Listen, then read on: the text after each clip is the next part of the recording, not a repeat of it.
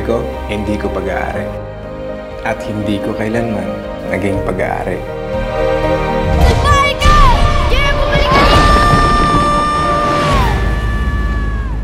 Isang kapatid na naghahangad ng kapatawaran.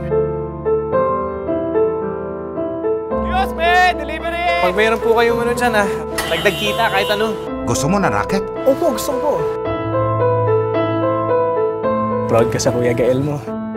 Architect! Tupad na yung pangarap natin. Manyakis ka? Bakit ka ba laging dumadaan dito? Napapangiti mo ako eh. Ito ibang klase. Nasa-challenge ako tayo eh. Basta ang importante, matinong klaseng babae. Manligaw ka? Pwede ba? Kasi gustong gusto kita eh. Sa pagdating ng pag-ibig,